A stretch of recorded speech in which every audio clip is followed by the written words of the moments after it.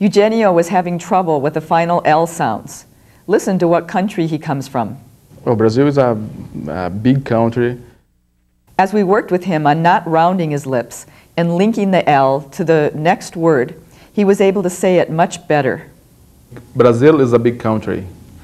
Brazil is a big country.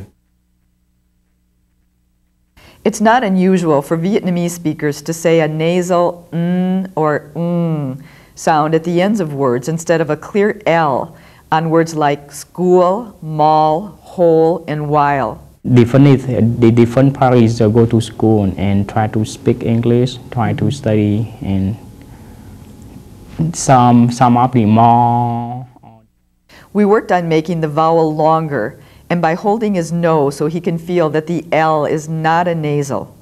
I went to school yesterday. He can still work on focusing on these and other final sounds in his everyday life. This will improve his overall English sound the most.